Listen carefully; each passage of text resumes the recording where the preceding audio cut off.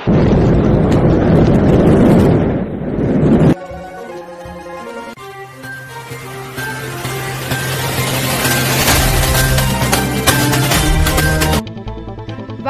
கலாம் செய்திகளுக்காக வாசிப்பவர் ஷாலினி. திருவண்ணாமலை மாவட்டம் ஆரணி ஊராட்சி ஒன்றியத்திற்குட்பட்ட வடுகசாத்து ஊராட்சி மன்ற தலைவர் பதவிக்கு வேட்பாளராக ஜி. வெங்கடேசன் போட்டியிடுகிறார்.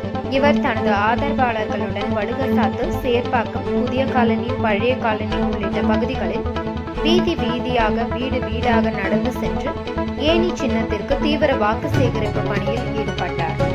அப்போது மக்களின் அடிப்படை பிரச்சனைகளை தீர்த்து வைப்பதாக வாக்குறுதி கூறி தீவிர வாக்கு சேகரிப்பில் ஈடுபட்டனர்.